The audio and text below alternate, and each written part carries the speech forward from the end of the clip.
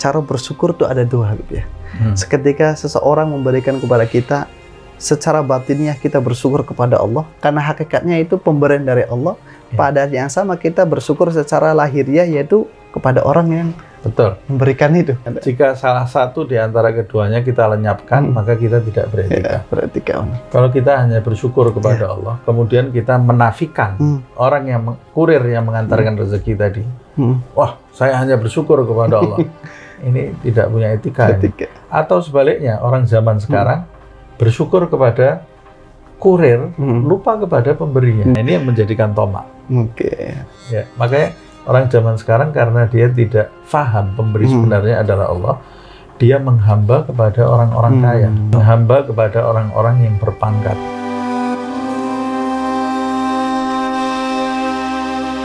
Di paragraf pertama kan ada eh, apa namanya kita tidak boleh eh, memiliki rasa takut kepada makhluk.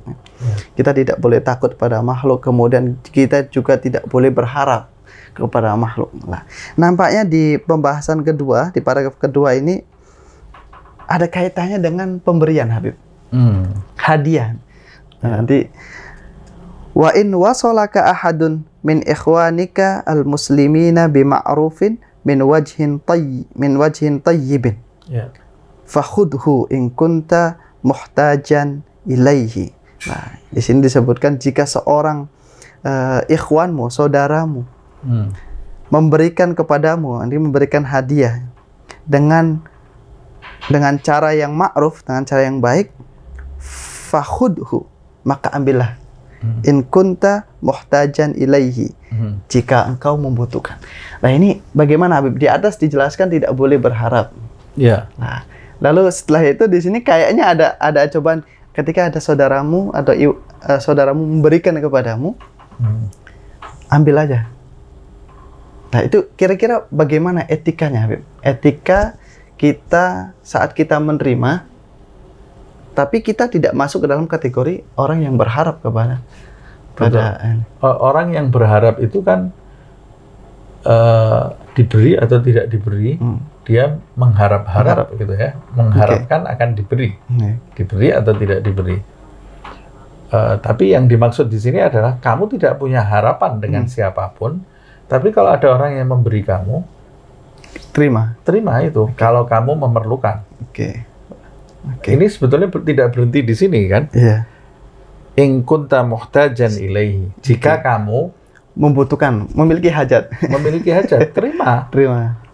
Lalu washkurillah, Bersyukur. bersyukurlah kepada Allah. Oke. Sebab hajat yang datang kepadamu itu, Mm-mm. hadiah yang datang kepadamu, wa innahul mu'ti. Ah, Pemberi sebenarnya adalah Allah. Allah Subhanahu wa taala. Oke. Uh, uh, al-mu'ti hagigatan. Oke. Tapi Hakikatnya. hakikatnya itu pemberinya Allah.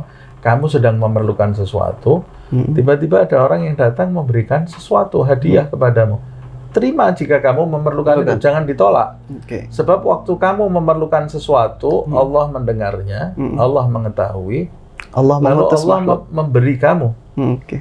Eh, itu diterima dengan menghadirkan hakikat pemberi ini adalah Hmm. Allah. Saya bersyukur kepada Allah Subhanahu wa taala. Tapi Allah dalam memberi kamu kan tidak menurunkan dari langit. Oke. Allah- Ada perantara-perantara Iya. gitu. Allah memberi kamu karena kamu sedang di dunia. Hmm. Allah memberi kamu mem- menggerakkan hati Hmm. sebagian dari makhluknya eh, sehingga memiliki keinginan untuk berbagi kepadamu. Oke. Nah, karena Allah memfungsikan sebagian dari makhluknya, Hmm. maka makhluk pemberinya Allah, tapi makhluk ini punya jasa kepada dirimu Oke. Karena dia kurir Mm-mm. hadiah dari Allah Subhanahu wa taala kepada dirimu. Makanya Washkur man- ausalahu Hmm. ilaika. Ya, Terima kasih juga kepada orang orang, yang telah memberikan yang kepadamu. menjadi kurir anugerah Allah Subhanahu wa taala itu kepada diri kamu. Dia punya jasa. Oke. Melalui jasa dia Allah menggerakkan dia. Nah, dia Hmm. menjadi memiliki kemuliaan karena Oke. Allah memfungsikan Sekian. dia sebagai kurirnya mengantarkan rezeki kepada makhluk yang Hmm. lain Hmm. dan saya uh, harus berterima kasih kepada kurir. Kurir ini. Uh, makanya semakin besar jasa seorang makhluk kepada kita, semakin kita harus berterima kasih Hmm. kepadanya.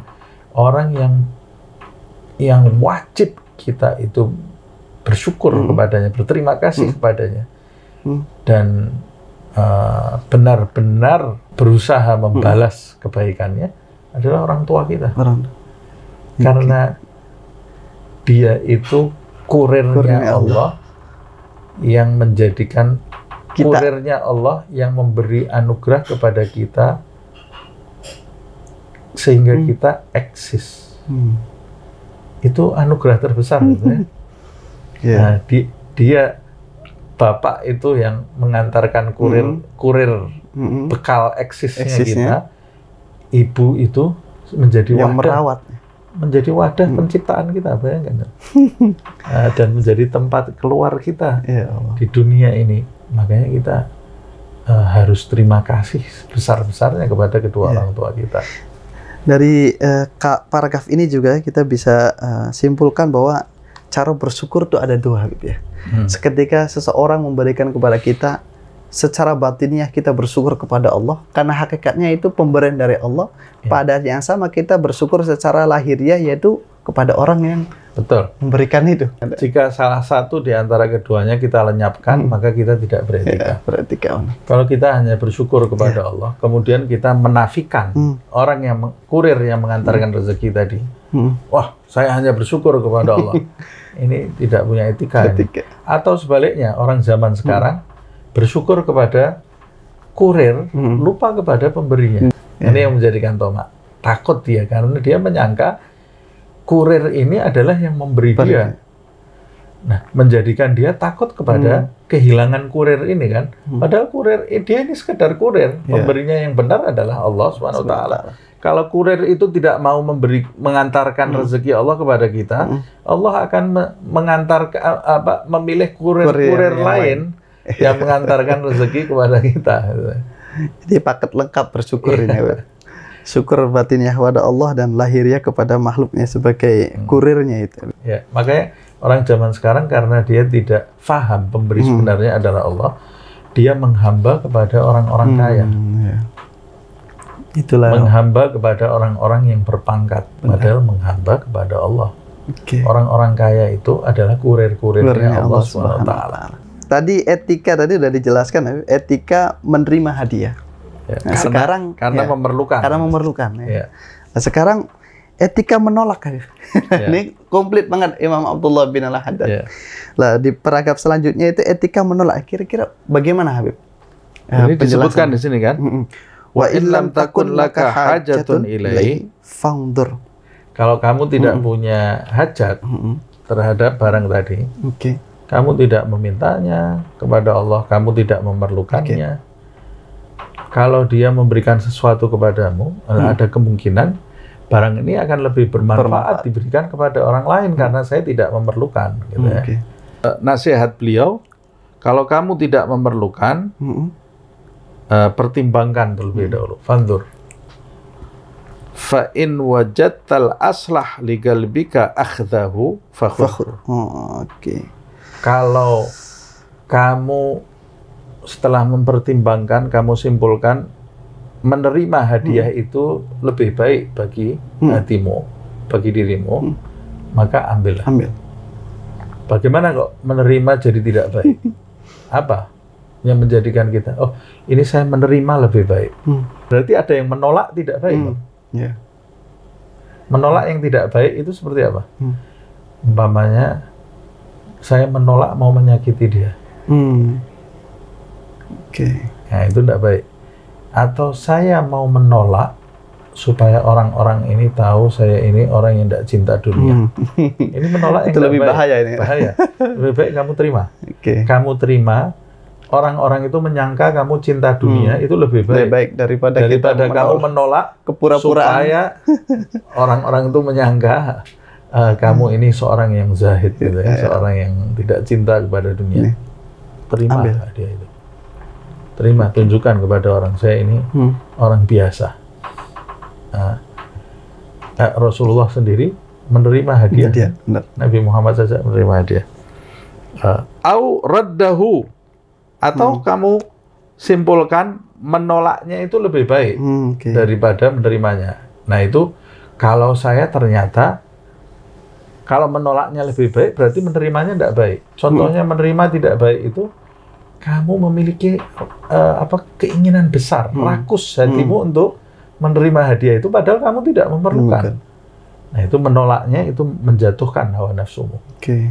Nah, faraddahu. Hmm. Jadi menolak dan memberi itu barometernya itu. Hati Maaf, dengan menolak dan menerima maksud saya ya, barometernya itu ya. Faraddahu au raddahu Hmm. atau kamu menolaknya eh, kemudian apa ini? Faruddahu birifkin. Tapi ketika kamu mau menolak, kamu harus menolaknya dengan baik. eh, baik, Mm-mm. dengan lemah lembut, bihaith la yang kasir galbul mu'ti. Hmm. Eh, yaitu menolak dengan baik itu bagaimana? Menolak dengan baik itu jangan sampai Menyakiti uh, hati. menyakiti hati sang pemberi, Pemberi. tadi, si pemberi tadi.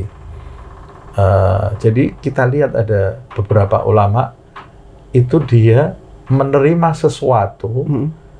yang dia tidak memerlukannya, tapi tetap dia, Dia terima, karena dia memikirkan si pemberi Hmm. tadi. Kalau saya tolak dia uh, akan nyesal, menyesal dia, uh, sedih. Kenapa kok ditolak? Uh, fa inna hurmatal muslim indallah azimah karena uh, kedudukan seorang muslim itu kehormatan di seorang muslim itu di sisi Allah sangat agung maka jangan Hmm. sampai engkau menjadikan hancur Hancur hatinya. hatinya Atau bisa juga karena sebenarnya tadi di paragraf selanjutnya sebelumnya bahwa hakikat pemberi itu adalah Allah. Hmm. Berarti kalau kita menolak pemberian dari seseorang itu berarti kita telah menolak pemberian Allah. betul itu kalau kamu memerlukan kalau kamu memerlukan dalam Iya, catat iya. catatan tidak tamak tidak sama nah, tapi kan masalahnya kamu tidak Iya, perlu Iya. kamu tidak minta Oke. Tapi tahu-tahu datang hadiah itu Iya. kalau kamu mau menolak karena kamu tidak memerlukan ternyata Hmm. eh, kamu menolaknya supaya dianggap seorang sufi Hmm. terima Oke. walaupun kamu tidak memerlukan atau ka- kalau saya tolak ini sedih orang yang Hmm. saya tolak ya saya terima walaupun saya tidak memerlukan karena saya tidak mau melukai hati seorang seorang. muslim Iya. ya jadi di Iya. sini Hmm. Eh, lebih jelas lagi nih ya. lebih jelas lagi. wa iyyaka warradul lisyuhrah wal akhdha bisyahwah ini kan Oke. hati-hati kamu dari menolak karena ingin ketenaran Hmm. ketenaran ini eh, disebut orang besar Mm-mm. itu ya orang sufi wal akhdha bisyahwah atau men- mengambil Hmm. atau menerima hadiah Dengan eh, dengan syahwat, Syahwat. rakus wala anta khudhu bisyahwah. Khairun laka min antarudda lisyuhrah Hmm. tapi kalau kamu disuruh milih Mm-mm. saya mengambilnya saya ini ngambil karena syahwat mau tapi kalau saya tolak saya tolak supaya saya disebut sufi Sufi. Eh, Yang pertama lebih baik. yang pertama kamu ambil dengan syahwat itu masih lebih bagus Iya. masih lebih bagus karena syahwat itu urusannya sama diri kamu sendiri itu ya daripada kamu menolaknya untuk ketenaran, Ketenaran. supaya disebut ketenaran ini apa bizuhdi Hmm. wal i'rad anid dunia supaya kamu tenar Dianggap di, di mulut orang-orang kamu ini disebut seorang zahid atau orang yang menolak dunia. Dunia. Lebih baik kamu ambil dengan syahwat. Itu Iya. masih lebih ringan Oke. penyakit hatinya daripada kamu menolak supaya disebut. Jadi ketenaran itu lebih bahaya Hmm. daripada syahwat. makan makan sesuatu iya. itu eh, berlebih-lebihan atau menerima sesuatu berlebih-lebihan, rakus terhadap sesuatu itu berbahaya. Tapi ketenaran itu lebih bahaya ini. Lebih lebih, lebih menjadikan eh, kesombongan dan ujub di Hmm. dalam diri kamu ya. Wasadik la yaltabis alaihi amru. Orang yang betul-betul Hmm. memiliki keteguhan eh, perkara seperti ini tidak akan samar di, di Oke. hadapan dia. Dia akan tahu kapan dia mengambil, kapan dia menolak. Wala budda ayyaj'al lahu rabbuhu nuran fi qalbihi ya'rif bihi ma yuradu minhu. Orang yang memiliki keteguhan tidak Hmm. ada keraguan karena pasti Tuhan akan menjadikan cahaya, di Cahaya. dalam hatinya yang menjadikan dia itu mengetahui apa yang diinginkan oleh Allah, Allah Subhanahu wa taala. Jadi eh, dalam hal seperti ini dia tidak akan bingung gitu ya.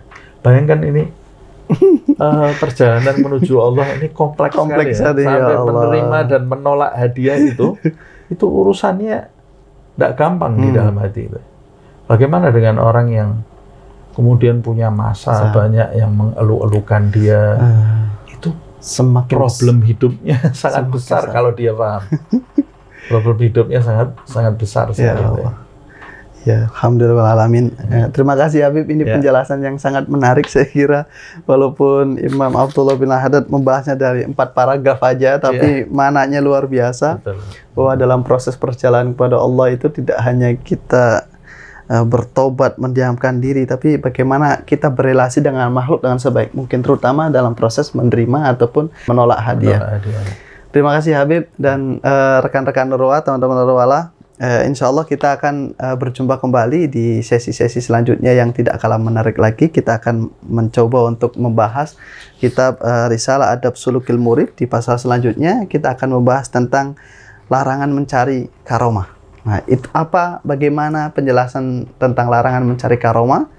Nanti kita simak bersama diskusi kita di serial Bincang Kitab Risalah Adab Sulukil Murid bersama Habib Husin Nabil. Terima kasih. Assalamualaikum warahmatullahi wabarakatuh.